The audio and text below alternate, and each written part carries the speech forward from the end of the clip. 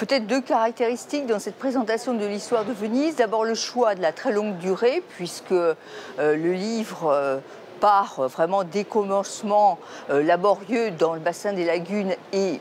va jusqu'au 1er août 2021, c'est-à-dire l'interdiction pour les grands bateaux de rentrer dans la, dans la lagune.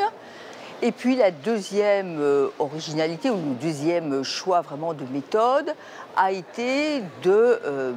d'intégrer en quelque sorte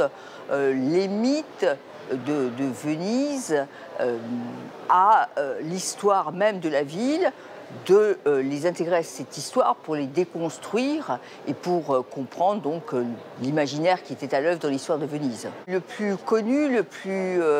celui qui a résisté le plus longuement, c'est-à-dire le lieu commun de la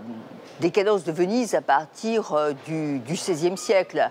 Alors qu'en réalité, il y a d'une part euh, une reprise en fait du commerce avec le Levant, euh, contrairement à ce qu'on a longtemps pensé, la découverte des nouvelles routes maritimes n'affecte pas à long terme au XVIe siècle le commerce vénitien, et puis d'autre part, il y a ce rebond industriel vénitien qui euh, confère à la ville une prospérité absolument éclatante au XVIe siècle. Le choix de l'iconographie a été un choix euh, très long, tout un travail qui a accompagné en fait la rédaction du, livre, parce qu'il s'est agi pour moi de chercher à, varier le plus possible euh, les supports en fait euh, de, l'information iconographique. C'est-à-dire que bien sûr il y a